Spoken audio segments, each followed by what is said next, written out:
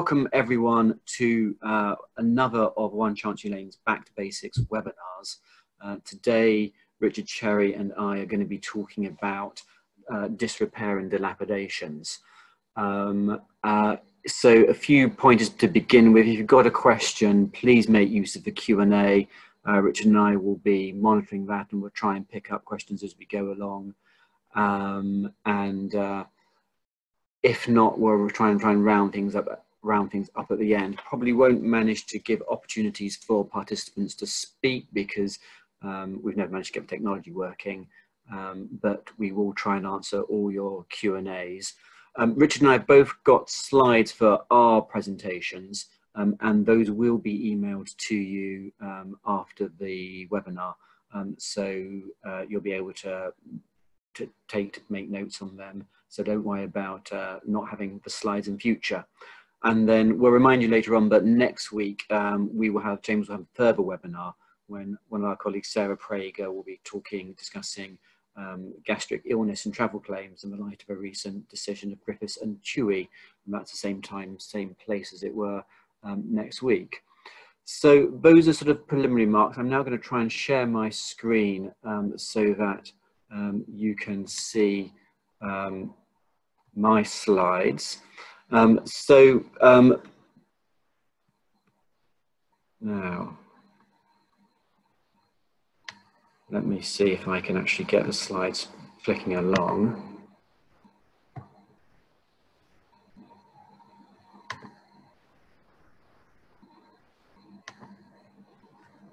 Okay, so um, these are, what we're going to be talking about today then. Um, so it, it is a back to basics topic um, about disrepair and dilapidations. So you may well find that um, some of the stuff that we're covering is fairly basic and um, hopefully uh, you'll find yourselves nodding along in agreement with what we're saying, um, recognizing the things that we're talking about. But we're, essentially we're going to break this down into four topics. I'm going to be talking about, in general terms, when a repair obligation is breached. Then you're going to have a of speakers and Richard is going to talk about section 11 of the Landlord Tenant Act 1985 which is obviously very important for residential uh, leases. And then we're going to uh, have two topics about remedies about damages. I'm going to speak a little bit about um, the tenant's liability for damages at the end of the lease and then Richard will look at how the landlord's liability for general damages is calculated and then we'll try and round up Q&A um, at the end. Um, so the first point then about the question of repair, um, one point to bear in mind is that repair isn't just about who needs to carry out works. Um, it may come into play in other context situations. You may need to advise about whether a repair obligation is relevant. So for example, um, what the level of service charges are going to be. Uh, can work fall within a service charge or not, depending on whether it's repair or not. Uh, it may have an impact on rent review, um, liability for uh, repairs may impact on that.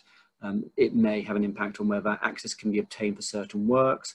And for the landlord, it may affect his liability for personal injuries to uh, occupiers or visitors. Um, so what is required by a covenant to repair is going to depend on the ordinary rules by which a courts construe a contract. And in the slide, you'll see I put a hyperlink, which you'll be able to click on, which will take you to a YouTube video um, of a previous webinar about the ordinary rules of construction.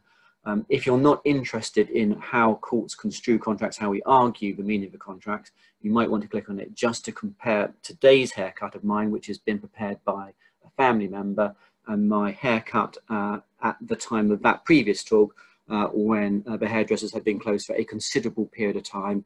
Uh, you might want to compare and contrast, um, or you might not. Um, but essentially what the rule the rules of course apply it's an objective test and you can see the quote from uh, lord Hoffmann um, below. Uh, it's what the part the reasonable parties would have thought the would have understood the words to mean. So um, there's there's many different ways that a repair covenant has will be drafted but the essence of what we're talking about when we're talking about repair is the idea of a restoration of the physical condition of something that has deteriorated. So you're looking for a change in the physical state of something before repair uh, is necessary arises. So that word is then going to exclude having to do works to cure design defects or poor workmanship at the time of construction of the premises. So there's a few examples um, in the, the, next slide here. So Quick and Taff Ely Borough Council, um, well-known case to the effect that severe condensation in uh, a dwelling, which had been caused by a design defect of the cold bridging from the windows to the rest of the premises, um, wasn't a repair that landlord needed to cure. And then commercial example in Post Office and Aquarius properties where the basement was flooded to ankle depth of water because of defective kicker joint, not repaired because it was the defective kicker joint which had always been there. And then this principle that uh, you need to be remedying something which has become defective follows through in the case of Southwark LBC, also known as Southwark Mills. So the landlord doesn't have an obligation to put in sound insulation. And uh, in the Secretary of State for Environment case, the tenant isn't obliged to remove asbestos uh, under a repair covenant. Um, now, just because you've got a design defect doesn't mean to say you're completely outside the scope of a possibility of repair obligation coming into play. Um, it could be, for example, that the inherent defect itself causes damage to other parts of the property. Um, and the classic uh, one, which Richard will touch upon later, may be where um, the condensation causes damage to plaster. Um, the other circumstance where you may uh, be able to rely on repair obligation is if the defective item itself has become damaged um, and then it will need to be repaired um, and uh, the defect likely cured as a consequence of a repair at that stage. Now, although this is about repair, we need to contrast repair with a covenant to keep in good condition, which is potentially wider. Um, and just two examples of how that has been considered to be wide of a covenant to keep something in good condition. So the Credit Suisse case, uh, premises, lots of leaking through the cladding and the glazing uh, as a result of construction and design defects um, not in disrepair because it was inherent defects, but not in the required condition uh, because the building wasn't watertight. Welsh and Greenwich LBC, um, I've underlined the keywords of the express obligation there. It was an obligation to maintain the dwelling in good condition and repair. Uh, that did require the uh, landlord to install insulation to prevent damp uh, because the uh, express covenant related to the dwelling itself rather than, for example, the structural exterior of a dwelling. Um, what standard of repair is required? Um, were, you'll probably already be aware that a covenant to repair something includes a covenant to put something in repair. So if a tenant takes property which is already in disrepair at the start of a tenancy, um, they've got the obligation to put it in repair. Now, that standard of repair can be limited by the contract. So very often you'll see um, the parties will agree a schedule of condition and limit the tenant's repair obligation to that schedule of condition. Uh, you may also see an exclusion uh, for fair wear and tear, I put fair wear and tear, that should probably be. Um, even if they don't have a limitation in that way, the general covenant doesn't require premises to be in perfect repair, but only substantial repair. And generally what we mean by uh, substantial repair or the standard of repair that the parties responsible for repair obligation needs to achieve is such repair as having regard to the age, character and locality of the premises would make them reasonably fit for the occupation of a reasonably minded tenant of the class who would be likely to take them. Um, so you need to look at the building, you need to look at the type of person who's in, going to be using the building and what standard would they expect the property to be in. So a, a very old building, for example, uh, you would not expect to be in pristine condition. A more a newer, more modern building, you would expect to be in a better condition.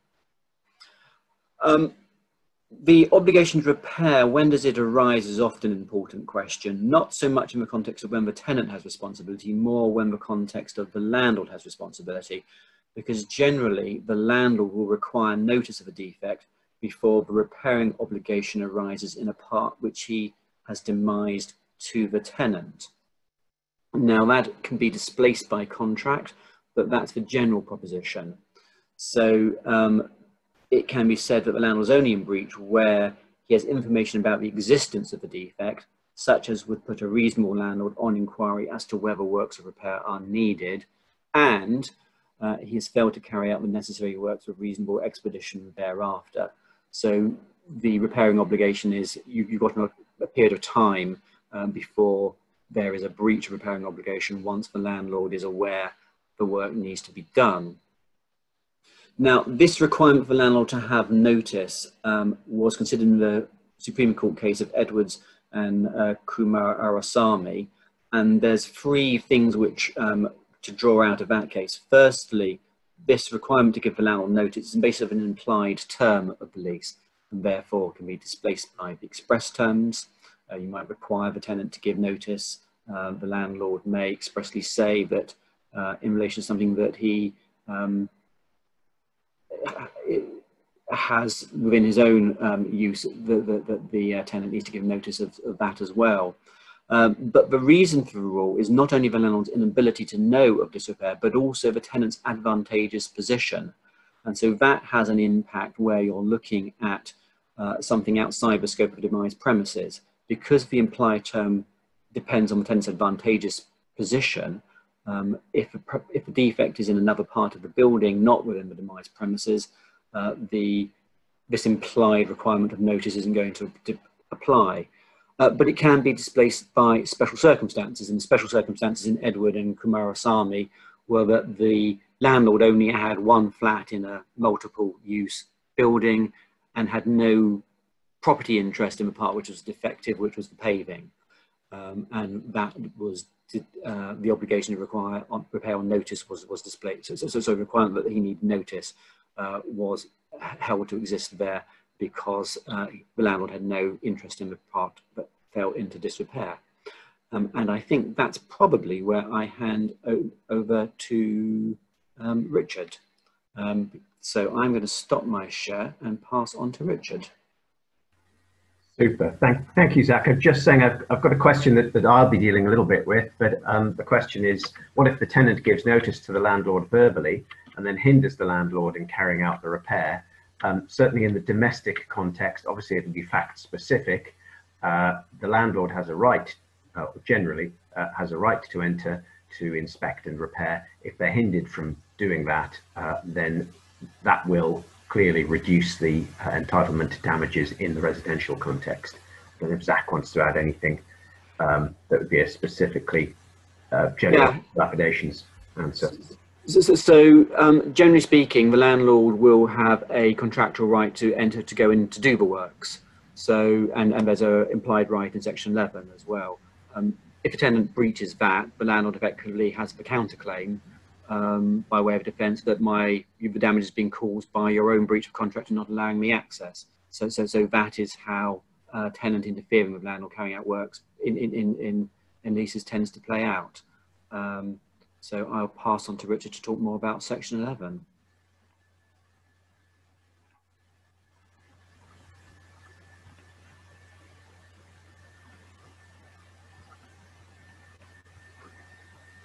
Great. Well, as, as Zach said, um, this is intended to be bread and butter stuff. Um, hopefully, as, as he said, you'll be nodding along. Uh, it won't be too contentious, but it may be a useful refresher um, for anyone who isn't doing a lot of um, disrepair claims. It's it's the residential property aspect of it that I'm looking at, um, and the the starting point is that it is while it's uh, not just a standard claim in contract, it is based on contract because a lease or tenancy is just a specialised form of contract. So you start with the terms of your contract, you work out what's what's actually been breached, and then you can consider the damage for it. But of course, it's never quite that simple because you've got serious um, elements of statutory uh, in, input over overlay, if you like, onto the contract. And then there's tortious elements in terms of things like um, PI, uh, nuisance. So it, it's a hybrid claim. Um, the first uh, bit of our statutory overlay is, of course, Section 11 of the um, 85 Landlord and Tenant Act. Uh, that is a minimum to which a tenant in a uh, in a tenancy that is uh, under that act is entitled. Uh, by and large, the tenancies are short lets, uh, assured short hold tenancies, secure tenancies, assured tenancies. Um, it doesn't apply to licenses. But of course, it's always the case that the express terms of the tenancy can be more onerous. And if they are more onerous, then they will apply on top. But you've always got your section 11 uh, as a basis. Um, always helpful to plead your covenant for quiet enjoyment if you're framing a claim um, for a tenant and non-derogation from grant in, in the alternative, but it all really comes out much the same. Also important to plead the Defective Premises Act, uh, and I'll be looking at exactly what the impact of that is. That's a slightly different um, operation, which is quite useful in cases where you've got issues about notice being given to the landlord. So the base duty that we probably all know by heart but haven't looked at for ages because the things that are closest to us become somewhat invisible. There is an implied covenant by the lessor. A, to keep in repair the structure and exterior of the dwelling house, that includes drains, gutters and external pipes. B, to keep in repair and proper working order, slightly different and extended wording, installations in the dwelling house for the supply of water, gas, electricity and for sanitation, uh, but not other fixtures, fittings and appliances, gas or electricity, which might seem to um, rule out a boiler, but uh, C, to keep in repair and proper working order, the same standard of duty there, the installations in the dwelling house for space heating and heating water. And uh, a duty to keep in repair includes a duty to put in repair. So you can't have a landlord saying, oh, well, it was, it was rubbish uh, to start with. If it's not in repair, they must put it in repair. And just um, a, a detail from case law on what structure is, is including the floors, the windows and the walls, including the plaster. And uh, of course, that mentioned um, Quick and Taff which is fascinating if you're interested in plaster. Um, the interesting point from that was that while condensation damp isn't uh, section 11 uh, actionable uh, disrepair, uh, if the plaster then becomes saturated, that plaster is in disrepair. So it, there's a limited um, there's a limited get out for a landlord, but there's infinite amounts of, uh, of debate. Uh, a landlord will always say that uh, damp is condensation damp. A tenant will always be saying it's from a structural cause, it's penetrating damp, it's rising damp, it's therefore covered by section 11. And your expert hopefully uh, will give some kind of answer, although quite often they say it's a hybrid. Um, common parts, there are similarities that you'll see and differences from, from Zach's um, presentation. The landlord is, is also uh, obliged to repair the common parts uh, but not any parts. So if, if, if, let's say, a local authority owns a large block, well, obviously they will um, retain almost invariably the common parts. They therefore have the responsibility for that.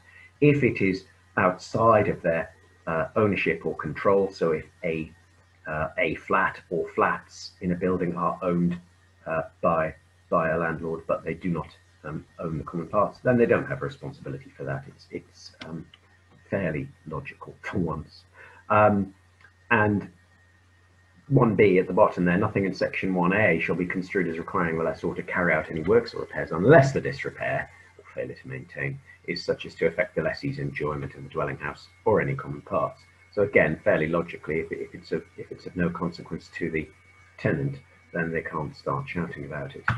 Um, further limitations, what the landlord doesn't have to do is to A, carry out works or repairs for which the lessee is liable by virtue of duty to use the premises in a tenant-like manner. That um, old-fashioned phrase um, has been described as changing changing a plug, uh, changing a fuse, fixing a slightly dripping tap. Very minor works will be um, down to the tenant and also they have to use it in a tenant-like manner. They don't have to start knocking it about. Uh, the standard of repair, again, very similar to the um, the citation from, from Zach, the standard of repair, uh, regard shall be had to the age, character and prospective life of the dwelling house and the locality in which it's situated. But it's a little bit uh, old fashioned. A court is not going to say, well, you're in North Shields, what do you expect? And um, in case anybody wants to put anything in the chat, I am from North Shields and I love it. Um, the implied covenant for entry in section 11.6 in a lease in which the lessor's repairing covenant is implied by section 11 there is also implied a covenant by the lessee that the lessor or any person authorised by him in writing may at reasonable times of the day, giving 24 hours notice in writing to the occupier, enter the premises comprising the lease for the purpose of viewing their condition and state of repair. So that uh, relates to our question earlier. There is an implied right for the landlord to get in. And it's very important, um, I always think, um, when advising a landlord to say, get in there, check what there is, because there, there are two elements to that. One is, A, you can see if there is anything that needs to be repaired and you can get on and repair it because a landlord's going to have to repair anyway.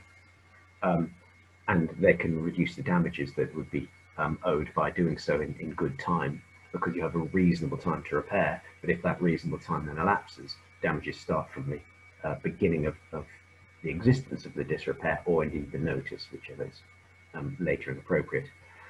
And if, uh, as often happens, tenants deny entry, um, it will, again, it will weaken the tenant's case. The landlord can't repair what he can't get to. So um, again, just, just for once, the law is relatively logical. Um, now, uh, we were specifically asked about the Homes Fitness for Human Habitation Act 2018.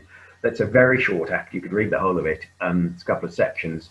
And what it does is amend the 85 Act to add 9, section 9 capital A, which I've put on the slide there, in a lease to which this section applies of a dwelling in England.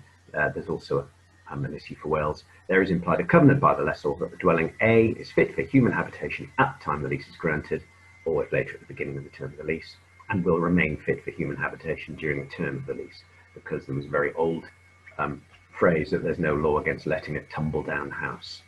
There now is a law against that. Um, so it's been implied into the duties of the landlord in section 11. It also has been very carefully, um, with respect to those drafting it, very carefully drafted to dovetail nicely with um, section 11.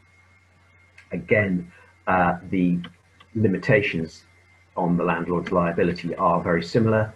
Uh, they don't have to carry out any works or repairs for which the lessee is liable by virtue of one, 2A1, the duty of the lessee to use the premises in tenant-like manner, or an express covenant of the lessee of substantially the same effect as that duty. That, however, um, is, is subject to the same limitation on the limitation, if you like, which um, means a landlord can't covenant out of section 11. Um, but any any covenants that are of effect absolve them will, will obviously apply to that duty. Uh, they don't have to rebuild or reinstate in case of destruction or damage by all the usual uh, nasties. Uh, to keep or in repair or maintain anything which the lessee is entitled to remove from the dwelling, that again mirrors some of the wording of section 11.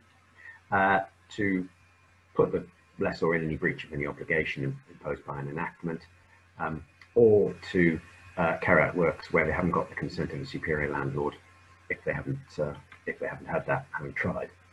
Um, it's also uh, down at three there, doesn't give them any liability in respect of a lessee's own breach of covenant, naturally, um, and uh, anything that they don't have to uh, make good because of an exclusion or modification under section 12, which we haven't looked at, but it, it's it's a very similar series of, of exclusions uh, as section 11.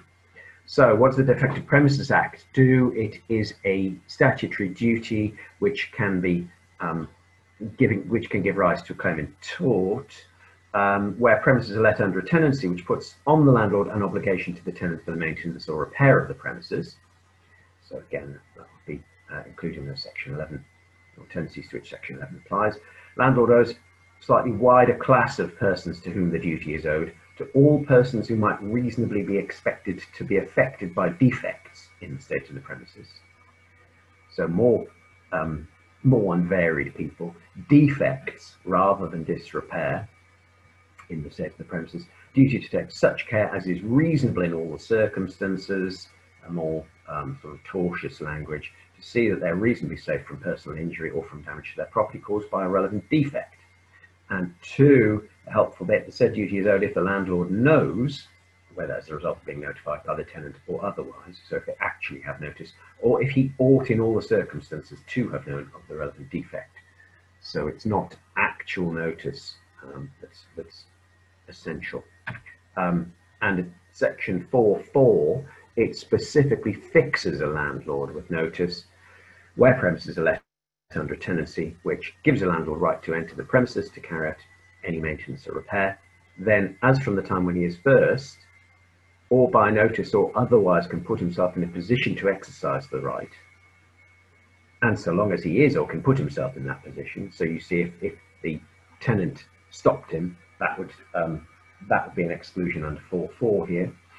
Um, he will be treated just for the purposes of subsections 1 to 3 above as if he were under an obligation to the tenant for that description of maintenance or repair of the premises. Um, and again, not liable for any defect arising from or continuing because of a failure to carry out an obligation expressly imposed on the tenant by the tenancy. So the, the three bits or two because of because the um, fitness for human habitation just uh, just adds a clause into the 85 Act. DPA and the 85 Act working together in slightly different ways. It's not about notice, it's about reasonable foreseeability because of the, um, the tortious nature. So when you're looking at damage, what, what is actually in disrepair? Um, how long has it, has it persisted and when was there notice, whether actual or implied, if they require notice? And then, uh, odd, slightly oddly for a contractual case, what has been the impact on the tenant? The damages will vary with your, with your tenant. The big, big ticket items are going to be damp. There's always, as I say, the fight between is it penetrating, is it structural related, or is it condensation? Hopefully the expert will tell you something helpful about that. Heating and hot water, um, obviously a complete absence of heating and hot water is going to be much more serious than in summer, and that will be reflected in damages. Equally, um, a vulnerable tenant uh, may be much more affected by that, tenant children, etc. So your your victim, in tortious terms, uh, will determine the damage, even though it's largely contractual. Uh, any dangerous or unfit installations, any infestations. Infestations can sometimes be a bit of a, um, a source of um, source of a fight. Uh, are they arising from disrepair? Would the infestation in itself then cause disrepair? You're back to quick and Taff Ely. So there can be some infestations that, that will be argued and not down to section 11. Um, how is it evidenced? Well, the tenant's own evidence, uh, anecdotal, any photos, obviously they've all got mobile phones these days. Everybody can take photos on their mobile phones. It's very helpful. Sometimes videos. I had a video of cockroaches running around, which was really horrific. And, you know, a court is going to take that very seriously.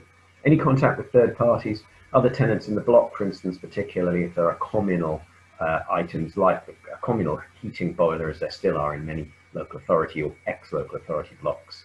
Um, even the communal water tank. Um, I've had a case where there've been bits of something or other uh, in the water tank. And the fact that all the other tenants were complaining about it is obviously very strong evidence that it's, it's a real issue. Uh, your expert report will give you lots of evidence. That's, of course, a snapshot and the housing file uh, in, in any public sector tenancies, whether LA or uh, housing association. So how do we know how long it's persisted? Because, of course, all we've got is, is today's evidence. Well, has the tenant complained in the past? Uh, have they themselves contacted builders as opposed to the landlord's contractors? Have they been to the doctors saying, um, my child has got a wheezy chest because they're living in a damp house? Um, that will be relevant evidence that there may have been a problem uh, in advance of, of, the date where they're actually able to put their witness evidence down in a statement. Have they replaced items? Um, have, have bits of bedding been ruined by mold? Uh, have they got receipts for that? Again, photos on their phone. What have they noticed and how, how long for? Um, limitation, the limitation period is six years. Uh, the fact that most um, disrepair claims will in fact be disrepair counterclaims because um, for many, many reasons, a tenant will not always have the means or even the motivation, even in quite serious cases of disrepair, to bring a claim themselves. And it's almost invariably when a landlord brings a claim for uh, possession on the basis of rent arrears, suddenly out of nowhere a, um, a disrepair counterclaim will arise. Now, that's not to say that it's not genuine, some are, some aren't, but um, the fact is that they don't get uh, brought almost uh, of themselves. Um, the limitation period would be six years from the date of the claim for a counterclaim, so that's even a bit longer. And when you think that particularly in today's atmosphere, that it can take a couple of years for them to get through the courts. That's that's an awful lot of years that you can be um, you can be paying out in, in damages if you're a landlord. All the more reason to get in there quickly, inspect it, and, and to carry out repairs. The housing file, um, I've never seen a housing file that seemed to be complete, but there will be um, logs on there of calls from the uh, from the tenant, of instructing contractors, housing officers visiting for various reasons, um, maybe an initial tenancy visit. Um, that can all give you notice and it can also evidence the fact that there was disrepair at a certain time. Um, the expert evidence itself can assist on the history. Obviously, it's just a snapshot, an expert report on a particular day, but there may be stains on the ceiling from a leak that's been repaired some years ago. So you can you can use those to evidence the, the history. Um, what do you expect in your expert report? Well, um, obviously the results of the inspection on that day. If there's damp cases, they should be giving a, a some numerical value on the damp uh, percentage wood moisture equivalent, and they will contextualize that if, if, um, if they're serious expert. Uh, and you will find, if you don't already know, that there are very few experts who still work at legal aid rates. So in any um, legal aid cases, you get the same experts coming along, and they're, they're pretty good. They know what they're doing. Uh, they'll also report comments from the tenant. Well, they'll be taken um, potentially with a pinch of salt by the by the court, but they're there as evidence. And um, any good expert will give you a Scott schedule where they will say room by room or the, the exterior item of disrepair. Is it within section 11? What will it um, what will it cost to uh, to remedy? You may have um, rather than a single joint expert, you may have uh, two experts, and then what would normally be ordered, and if, if the court isn't ordering it of its own motion, I'd say it's a good direction to ask, is that the experts do a joint Scott schedule where they each give a view, they set out where they agree, and they and when they where they disagree, they each set out their views and their reasons for disagreement. Um, I, I, may have said this before. For a landlord, exercise your right to inspect. Um, and once the tenant and expert evidence and the housing file are all available, is it time to start making offers? He questions. No, I say that's far too late. Um, make offers like in most cases, make offers early and make them frequently. Why not? Um, for a landlord, you need to get your client out of this as quickly as possible. There will be some disrepair, there almost invariably is. Um, get an offer in there and uh, get yourself the protection. If you can make a Part 36 offer, so much the better. But you can just make a, uh, an offer without prejudice, saves the cost. Notice, um, that's often a bugbear. Uh, how can we give actual notice? The tenant can have contacted their housing officer uh, by phone, by uh, email, etc. Um, often we don't have any direct evidence of that, and you get the pleading um, on occasions too numerous to particularize. But at least since about a million years ago, the tenant has been calling the um, the helpline. Um, well, that's uh, taken with a pinch of salt, and that that'll be a matter for evidence at trial. Uh, but if there've been lots of visits visits from um, landlord servants or agents, like their builders, um, and the disrepair still uh, prevails, there's some evidence there that the landlord has had notice. You can have notice by um, having any of your servants or agents in the building. They needn't be there to look at the disrepair. They needn't be told by the tenant on that visit, oh, it's damp. If it's something that would reasonably be noticeable, then um, the landlord will be fixed with notice by that. It can be if it's, if it's um, properly pleaded and alleged. Constructive notice the landlord is deemed to know what's going on about the exterior or the structure. As we said, the parts of the building under the landlord's control that aren't within the tenant's demise, the common parts, etc., and anywhere that they have the duty or the right to inspect. The um, DPA will also fix um, the landlord with notice where they have that um, right to inspect, so you don't need uh, that notice for the effects of any defects, but obviously it's still still need some form of notice for section 11. Uh, and as I said, it's, it's about reasonable foreseeability under the tortious heads. Um, the quantum of damages, uh, general damages will be for loss of enjoyment of the home. Uh, it can include stress and suffering caused by the condition of the property, people worrying about their children's health, all, all the sort of things that would arise from not having a, a home that's in proper condition. Uh, injury, personal injury to tenant or family, and as I said, the, the nature of the tenant, their personal factors, their vulnerability often will affect the, the level of damages. Special damages I'm not going to go through when we do our um, quantification, but they're, as in, in any case, there can be damage to belongings. Um, get a good schedule that evidences purchase, if possible, value. They won't have um, receipts for everything. Some things will be said to be gifts, but the, the more specifically um, it can be put in a schedule, the, the, the easier it is. And of course, um, the court will not give full value for everything. Everything will be uh, reduced for betterment, for, for evidencing. And, and if I'm honest, I think the courts wish to cut the baby in half sometimes. They'll, it's very, very rare that you get your full, your full claim. Um, any extra costs, extra heating bills, uh, if, if people, even if they've been supplied with a space heater by the landlord, then there may have been um, more power required to heat that. It's maybe less effective than a, um, a built-in central heating system. Any equipment they bought, sometimes um, people say with the lack of a kitchen, uh, they've had to have takeaways or they've had to have ready meals that they've just microwaved. All of that can be claimed for. Um, it, will all come out in the wash in special damages, but it, it shouldn't be avoided. Medicines, uh, treatments for bed bugs, all kinds of things like that. Anything, anything that's been um, caused as expenditure because of the disrepair. Um, I will deal with quantification in a second bit, but I'm going to hand back to Zach now. Any questions I'm going to be able to answer through the um, through the mechanism of the chat, and um, Zach's away, I think. Well, Richard, we've got a, we've got a question which I think we might want to pick up now. Um, so something I've got avoided.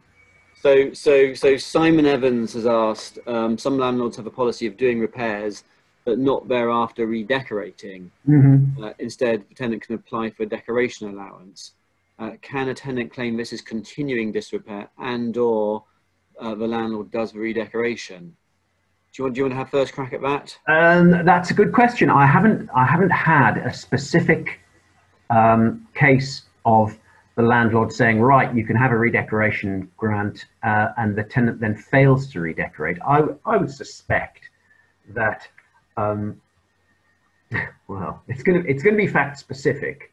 Um, if if a landlord simply says, oh, well, you can have a redecoration grant and it goes no further, it may not discharge the duty to, to complete the repairs because, because really, obviously, as, as the question um, presupposes is part of the duty once um, the disrepair has been remedied. Um, if it if it went further down the line, uh, particularly if the tenant had had the grant and then not used it, I would say that would um, absolve the landlord from um, from responsibility for any damages for failure to repair. It's a good question. I I, I haven't come across it. I, I think the court would deal with it in a in a fairly sort of logical, on the ground sort of way.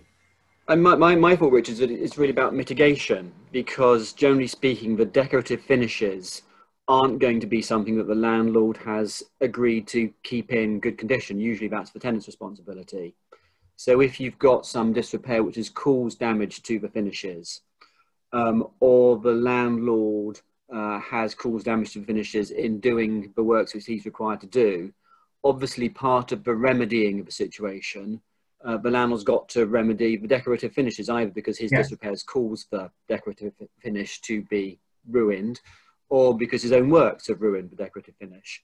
So if he makes available to the tenant a mechanism for the tenant to get the decorative finishes sorted out, um, it, it, seems to me the argument that the landlord would have um, would be you've got to mitigate um, the difficulty by, by, by doing that um, but he might not be primarily in breach of the of an obligation to put the decorative finishes in repair. It would be a consequence of something else, either him doing the works in a certain way which caused damage, or uh, the damage being occasioned by the dampness or whatever it is originally.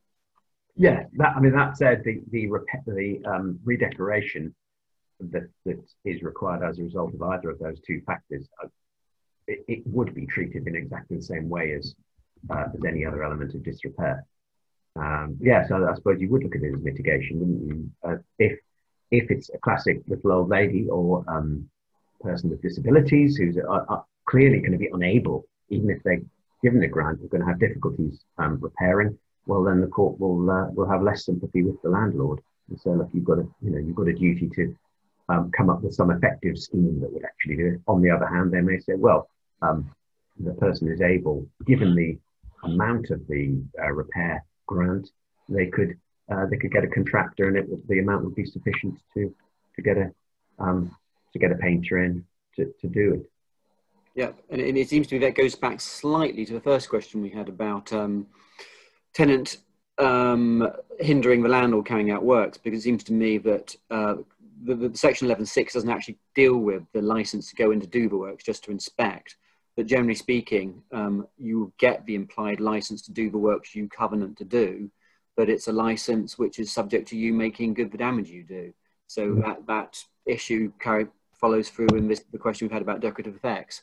Um, I'm going to push on with. Um, There's just one further one that might yeah. be of interest to everyone. If a tenant receives a Section 21 notice to leave, I'm just, I'm, this is just, I'm just reading this having first, having seen it right now.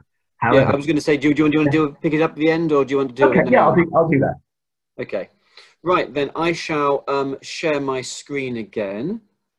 Um, ah, we need Richard. Richard, you need to uh, stop sharing your screen to begin with. Thank you. Uh, right, um, and then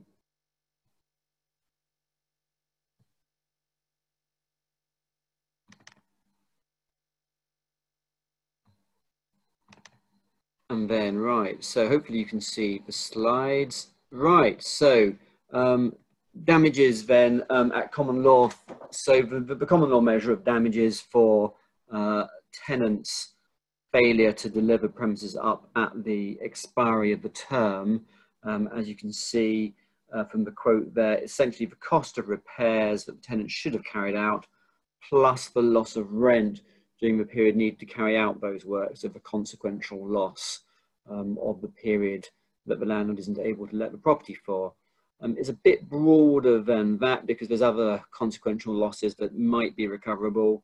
So the failure to recoup maintenance under a service charge, failure to recoup insurance under an insurance rent, and landlord's potential liability for rents of an empty property. So that's damages for common law. Um, now, the problem with uh, the damage for common law is that it can work unfairly. Um, so supposing you have a situation that um, the premises have been left in a state of disrepair, but what the landlord proposes to do is simply demolish them and redevelop. Um, should the landlord be able to get uh, both the cost of repair, which he doesn't carry out, and be able to knock the building down and redevelop it. Um, that was the unfairness which Section 18 of the Landlord and Tenant Act was um, brought in to do. And um, I haven't set it out because it's a 1927 statute and is worded quite uh, prolixly. Um, and uh, but effectively, uh, it limits the landlord's damage to the diminution in the reversion um, caused by the tenant's failure to carry out the work. So that is a valuation exercise which requires two valuations to be carried out. The first valuation you need to carry out is what would the property be worth, what would the landlord's interest in the property be worth on the open market if the tenant had complied with the covenants in the lease, the repairing covenants and the lease. And then the second valuation, you need uh, a valuation of what is the value of reversion in the actual condition that the tenant has left it in. To carry out that first valuation exercise, you're going to need to establish uh, those works that the tenant should have carried out. So very often cases about what the diminution value would be also have uh, arguments about uh, whether something was a repair which was required by the tenant to do and what sort of repair should have been done and how much that would have cost and what sort of condition the property would have been left in.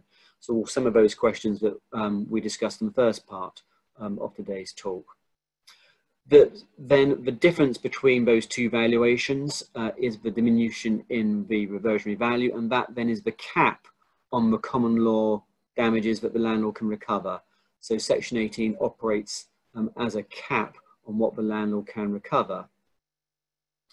Um, valuations are going to depend on identifying what a hypothetical purchaser would plan to do with the premises and therefore what it would offer for the premises. So would the hypothetical purchaser simply do the works and relet? Would they carry out some refurbishment, some modification and then relet? Would they demolish?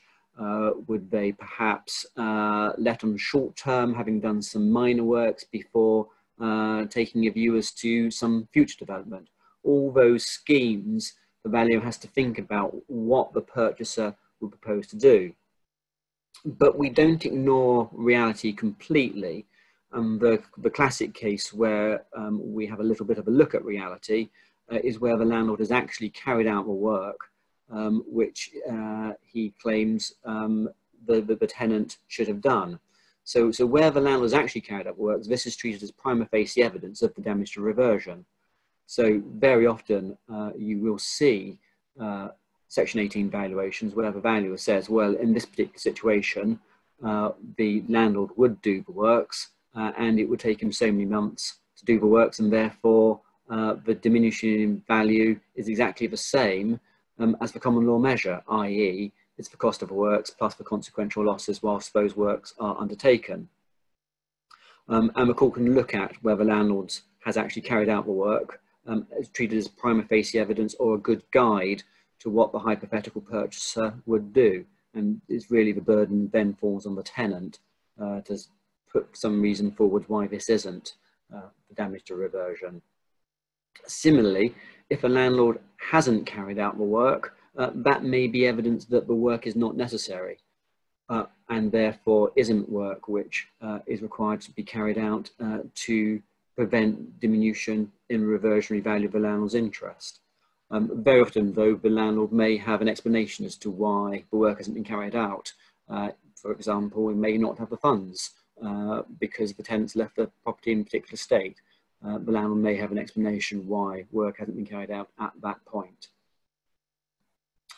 Um, so if you need to have a look at the valuation methodology, um, Rick's uh, publication, Dilapidations in England and Wales, in chapter 10, has very good uh, methodology set out, describes what steps the valuer should be taking.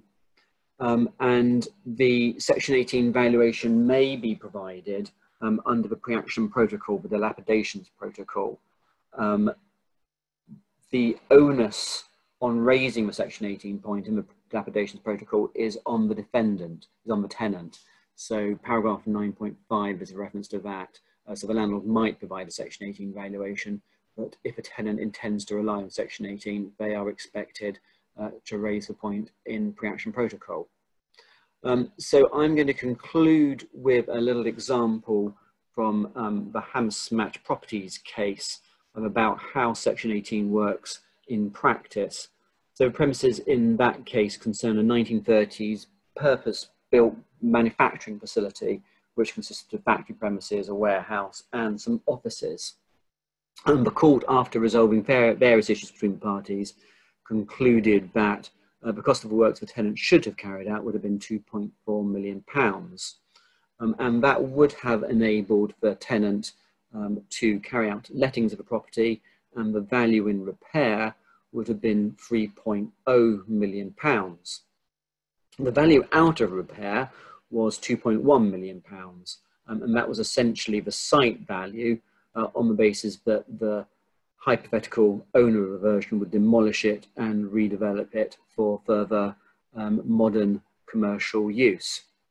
So the Section 18 cap then is the difference between the value and the condition the tenant should have left it, which is 3 million, and its uh, actual value 2.1 million. So the Section 18 cap is 900,000, substantially less than the cost of the tenant's works. And I think that is my last slide. Uh, so there's Richard and my emails addresses. That's the end of um, my part of the talk. So I'm going to hand back over to Richard um, and stop sharing. Um, and uh, if anyone's got any questions and answers, please do type them away and we'll, we'll pick them up um, after Richard's um, dealt with quantification um, of general damages, which um, one of our members of Chambers has asked for the science behind the art of putting your finger in the air, Richard. Yes, it's going to be so scientific. Just, just, but just to build attention, I'm going to deal with a question from Luke McGowan. Thank you, Luke. That was the one that I was beginning to read out. Um, if a tenant leaves having um, received a Section 21 notice, but with outstanding repairs, which they didn't contest because they realised the condition was too bad, it was affecting their child's health, etc. Um, and then the building is subjected to a, a works order by the local authority, which has been completed. Can the tenant still pursue if the uh, claim is within limitation? And the, uh, the very short answer to that is yes. Um, the right to bring a claim for uh, damages for disrepair doesn't end with the end of occupation. Um, and if the disrepair was so bad that it actually forced the tenant to leave, it can found a claim in unlawful eviction. Um, if the uh, repairs have been completed, obviously it may make evidencing the disrepair harder, uh, but the landlord could be required to disclose the nature and extent of the works performed. So um, whatever the, uh, if there was a detailed work spec from their builders, what they dealt with, that would possibly say what was what was wrong.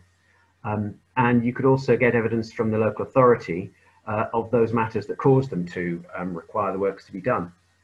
Obviously, an expert report will potentially uh, be less helpful because the the current snapshot that that gives you of the building is is not uh, what it was when it was being occupied. Um, so I hope that is at least some form of answer to that question. I'm going to start sharing again. Um,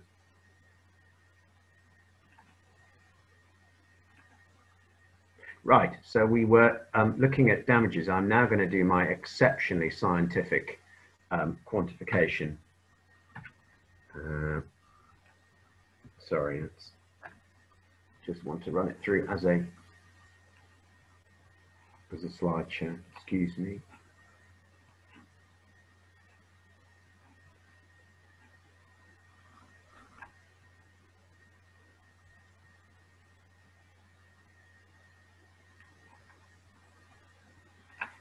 It's always the technology that kills us, isn't it?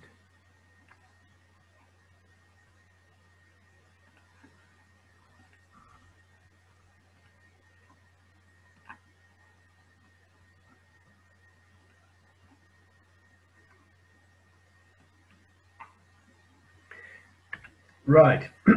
uh, so having said that it's scientific, it's not. Um, I can't pretend that it is. The two key cases that um, have been taken um, as the basis of quantification of residential disrepair damages are Wallace and Manchester, uh, where they made the base point that the sum is that which is required to compensate the tenant for, distress, for the distress and inconvenience experienced because of the landlord's failure to perform his obligation to repair. Um, and what Wallace and Manchester did was come up with um, amounts, fixed, not fixed amounts, but, but um, amounts expressed in figures of pounds, which then became known as an unofficial tariff, um, which is fine, except that it isn't really a tariff and it wasn't unofficial because it started getting used all the time. Um, English Churches and Shine, which is a very long but very entertaining case for anyone who hasn't read it or hasn't been back to it recently, because Mr. Shine was a, a very interesting individual who seemed to demolish parts of the property in which he resided, um, and a very, very interesting bit of judging, which came in for some criticism. Uh, that approved Wallace and, and Manchester, and that um, a court could order a notional reduction in rent a global award for discomfort and inconvenience or a mixture of the two? Well, great, thank you. That's, that gives the courts a lot of leeway, but gives um, those using the courts less certainty. But what certainly what I've found to happen is that um, district judges certainly are willing to work on a percentage basis of the rent. Uh, and while that is no more or less scientific than numbers of pounds for certain things, um, it, it, does seem to find favour with the judges that I've been in front of, and it, it does have at least the uh, benefit that you are putting forward a reasoning, if you're a, a tenant representative, a reasoning for what the um, damages should be. And also, of course, because Wallace and Manchester was in 1998, um, you don't need to worry about uh, bumping anything up for inflation because if your rent is higher, then your damage is potentially higher when they're calculated as a percentage thereof. Um, landlords are probably keener on Wallace and Manchester because whenever, almost invariably, whenever sums are ordered rather than percentages, the, the final figure comes out lower.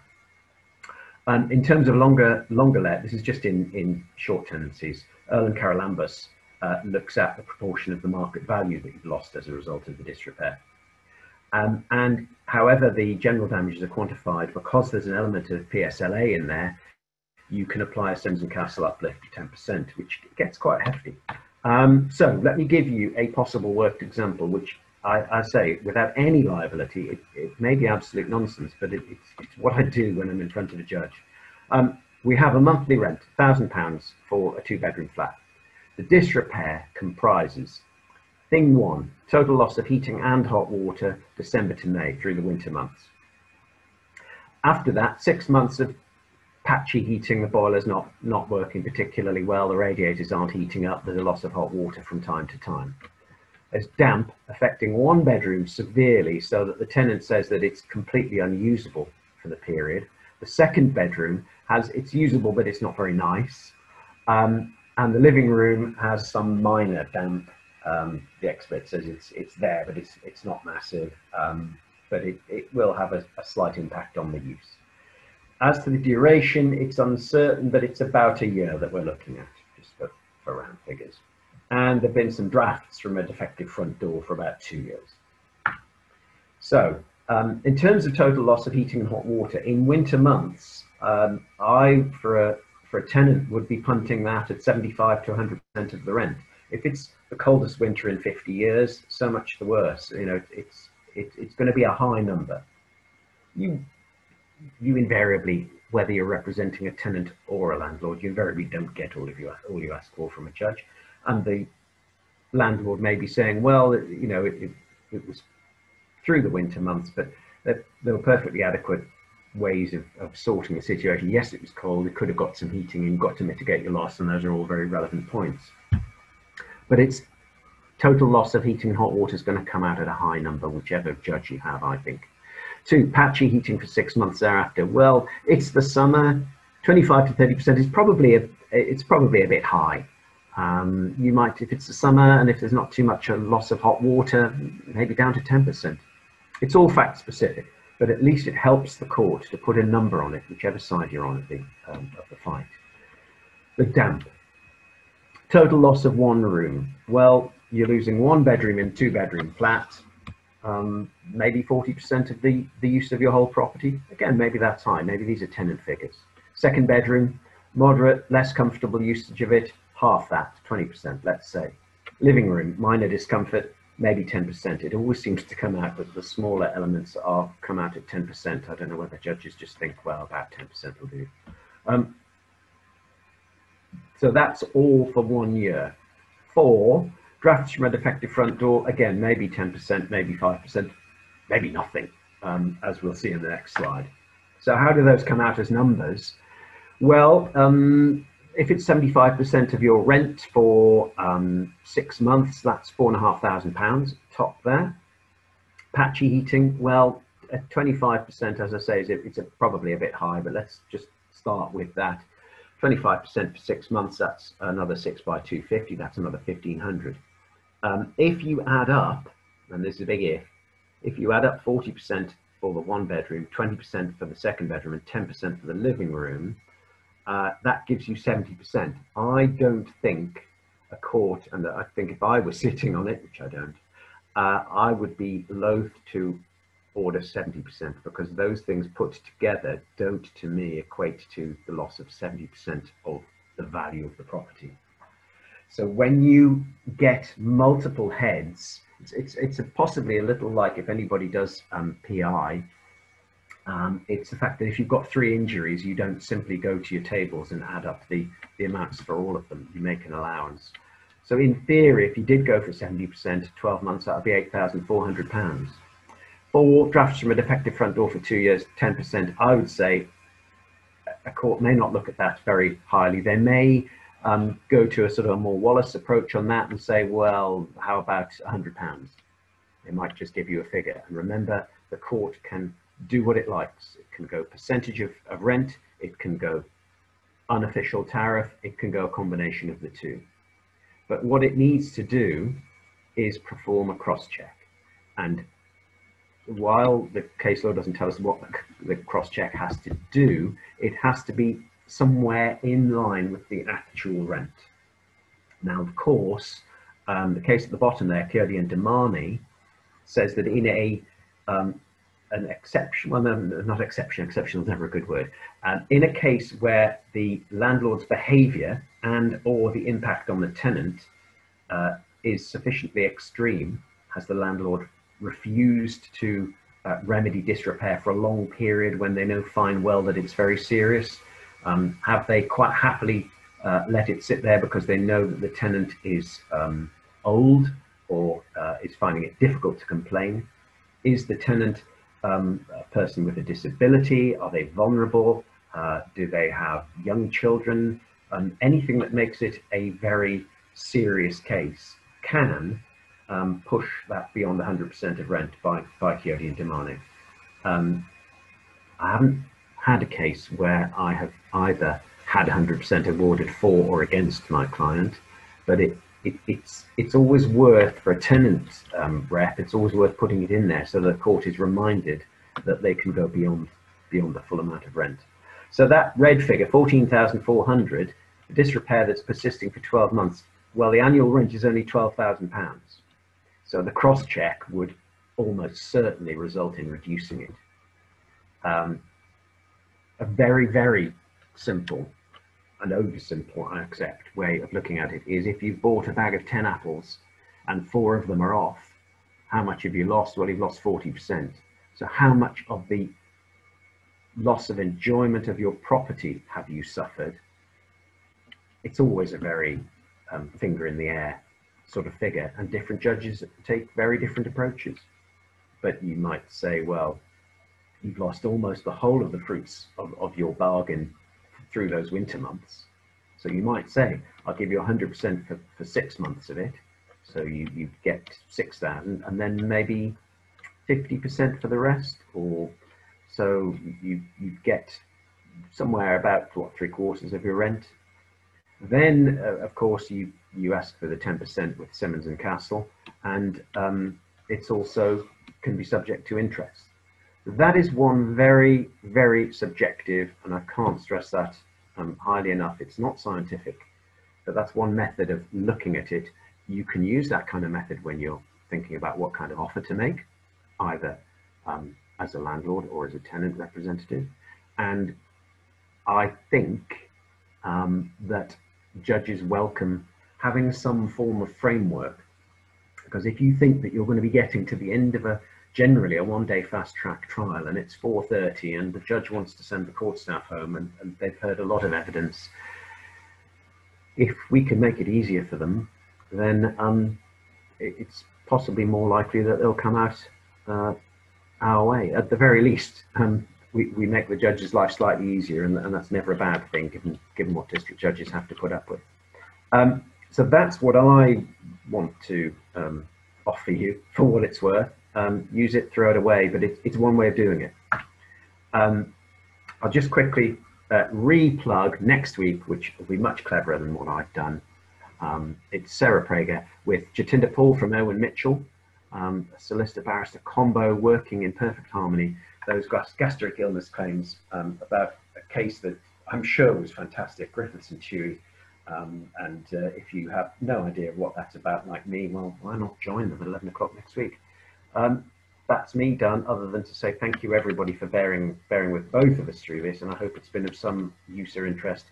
Any questions, yes, put them in the chat now. Um, email us by all means, um, and we will try to help. I don't know if Zach wants to add anything to that. No, I'm just going to add a couple of things about your point about um, Earle and Charalambous, um, because the, that exercise that you carried out um, it, it's not limited to the sort of social housing example that, that, that, you've given. That I mean, Earle and Charalambous is, is a long lease case, um, and so it doesn't matter that the tenant's only paying a, a peppercorn rent or a pound a year for his um, property. It's the loss of amenity value to him as if he had let it. So it, it can apply, you know, so you can have some very plush accommodation, um, which are not paying a, a rack rent, a market rent, um, on, a sort of weekly periodic basis and, and, and rack up a very substantial claim in general damages based on loss of amenity using exactly the same method that, that you've outlined there.